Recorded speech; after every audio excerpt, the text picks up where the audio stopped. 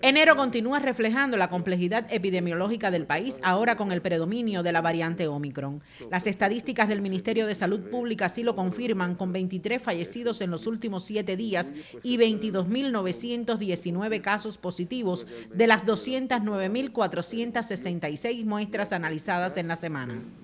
Con este comportamiento que hemos tenido en los últimos 15 días para poder hacer una evaluación, indiscutiblemente la tasa de incidencia, como se puede ver en la pantalla que viene a, continuación, se incrementa en 10 territorios, confirmados con respecto al cierre de la semana anterior. Cuando comparamos la semana número 2 del año 2022 con la semana número 3, que es esta que estamos analizando, indiscutiblemente 10 territorios incrementan su tasa de incidencia. ¿Cómo se incrementa la tasa de incidencia de casos confirmados por 100.000 habitantes en Cuba? Desde el 11 de marzo de 2020, Cuba acumula 1.022.112 casos diagnosticados con COVID-19 y una lamentable cifra de 8.363 fallecidos.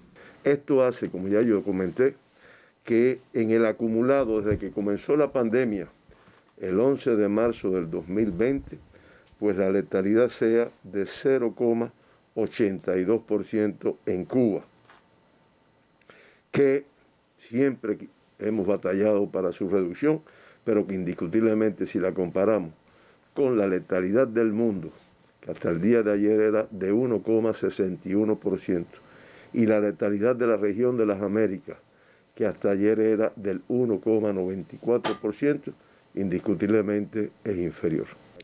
El doctor Durán se refirió a las diferencias en el comportamiento de esta nueva variante del virus, las ventajas de que más del 90% de la población esté vacunada y reiteró que aún así es preciso mantener las medidas epidemiológicas y cumplir con los protocolos establecidos por el Ministerio de Salud Pública.